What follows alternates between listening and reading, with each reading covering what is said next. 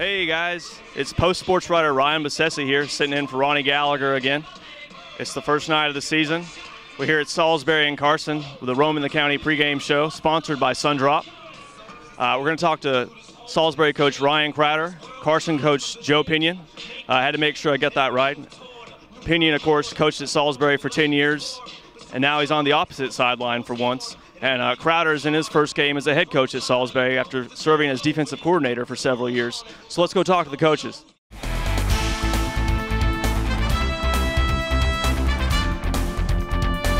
All right, and we're here with Carson coach Joe Pinyan. Uh, Joe, tell us how does the view from the opposite sideline look? Uh, not as friendly. no, it's it's always fun to play in Ludwig Stadium. Um, know, a lot of good friends on the other side coaching, a lot of good kids over there, had good relationships with. But you know, when they kick it off, it's going to be, I guess, mano a mano. Let's go go right, strike it up a little bit and see what happens. You know, we're excited about the chance to be here. I know it's a quality football team over there. We just hope we put a good product on the field too. Now, interesting dynamic with this game since Crowder uh, was your defensive coordinator for a long time. You know some of his tendencies, but I'm sure he knows some of your tendencies too he knows all our tendencies. He knows all our signals. I mean, I know all of his, but you know, the bottom line is it's we were in, the JV game last night. You could tell it was like kind of a chess match to see who was going to call play first, to see who could learn, read the signals quick enough. But I think everybody will have their own little strategies to get around that stuff, and hopefully, I just hope both teams go out there and play well. I mean, it's going to be a lot of fun, and it's it's certainly been built up to be a big, big ball game, so we're looking forward to it. What's the buzz and the excitement like coming into the first week of the season, approaching the first game? You're an hour away now. I mean, I guess there's nothing like it.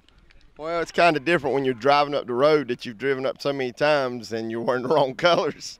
But um, the buzz has been our kids are excited about this opportunity. That our community is excited. Our our faculty and administration, uh, they've really accepted what we do and, and I guess accepting me and that's created a lot of positive atmosphere. I think our kid I'm ready to see our kids play and I'd love to see our kids win because, you know, that's that would be just perfect for what the amount of work they put in. So uh, it's it's been different. It's it's kind of strange and but it's it's going to be fun. Now Mike Juan Stout uh, this week committed to Appalachian State. Now you're a big app guy. Did you have anything to do with that? Stay completely out of it. Uh, you know, I think it's a good fit for him. I'll be honest. I really think it's a great fit for him for because he fits a position that they really need.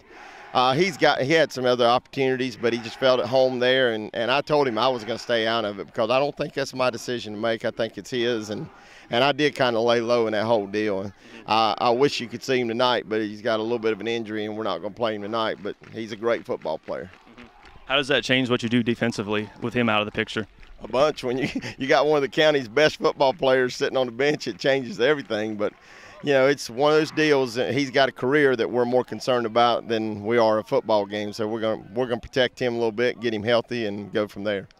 The always quotable Joe Pinyan. And we're here with the Salisbury coach Ryan Crowder. Coach Crowder, um, what are your feelings coming into this, your first game as a head coach, and against your mentor Joe Pinyan? Well, I mean, really, it's just another game. It's a new beginning for us. It's a new beginning for our school with, you know, just new coaches, some new faces, and you know, just keep the winning tradition going. What are some things the fans should look for coming into tonight's game that are that are here tonight? Uh, a lot of new faces. You're going to see a lot of guys that you probably haven't heard of before. Uh, you know, playing on both sides of the ball. We have a lot of underclassmen, a lot of sophomores that you know you're they're going to be carrying the ball around tonight for us. Are there a few kinks to work out, I guess, when you're replacing guys like uh, Ruffin and, and Bauk um, and, and Keon Adams, I guess? Uh, yeah, there's a lot of kinks to work out. I mean, just the timing, and you know, you never know how the kids are going to react in a big game. If they've never, you know, taken snaps in a game that meant something, then you don't know how they're going to react in that situation. That's what we're going to find out tonight. It just rained and it's kind of humid, and uh, usually there's cramp issues uh, for teams in these first couple games. I mean, have you thought about that at all, or? Yeah, we fed them a lot of fruit today during the day, some bananas and stuff during our team meal.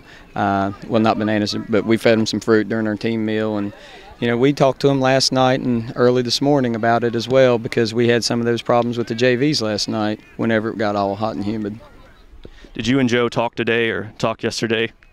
Uh, we talked on the 50 yard line before the game, and of course, I met him and let him in. and went through showing him where he's got to be, but he knows all that. He's not used to that sideline though. No, he's not used to that sideline. He's not used to dressing up in the top of the gym, but you know, it's kind of different, especially him coming over. It's kind of unique for me, I guess. Did you know that uh, defensive end Mike Stout was going to be out of this game for Carson? Uh, not till you just told me. Is that uh, how do you feel about that?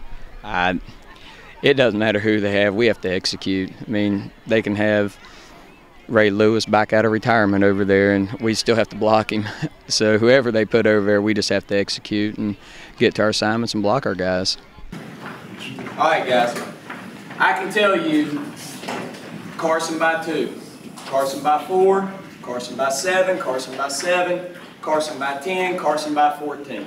That's all that other stuff I read in the papers and all that stuff today. But that's the cliche stuff. Okay? You know, you're expected to lose. All right, I'm not going to try to pump you up on that. What you guys got to understand is this is a new beginning. This is a, this game means something.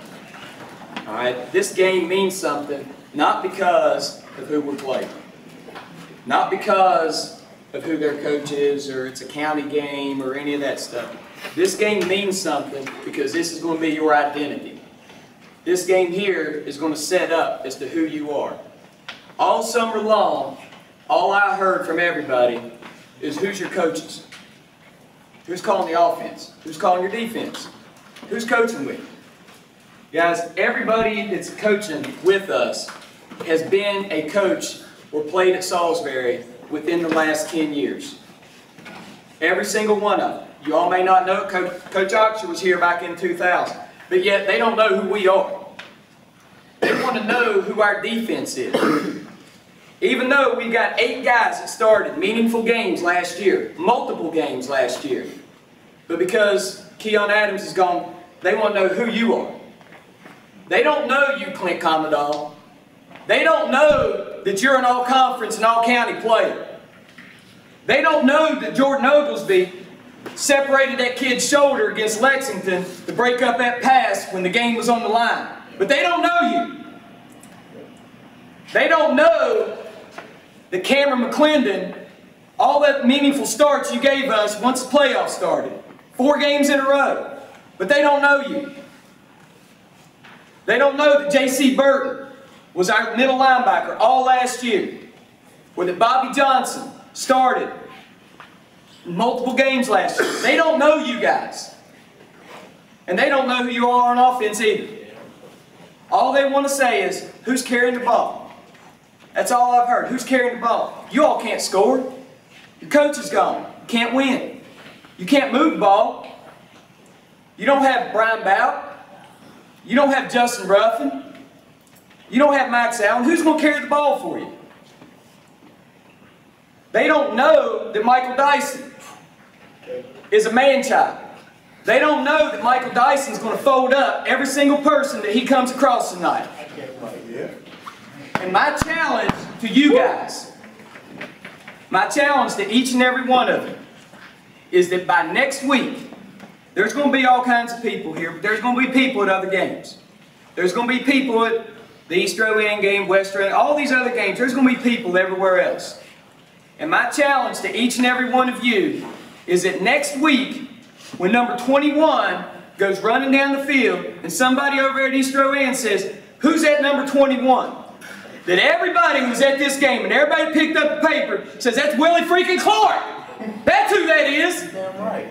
That's Willie Clark getting eight yards of carry. Let's go, Adam, man. Let's go, baby. That's Cre'Shawn Alexander folding those guys up on ISO. That's that, that's that running back that's firing through that hole. That's Michael Dyson and Robbie Slate every time on that middle linebacker, running him all the way back to the safety. That's who you are. And that whenever this whole thing is said and done, who we are, we're that team that beat them by 40 points tonight. We're that team that just went out there and whipped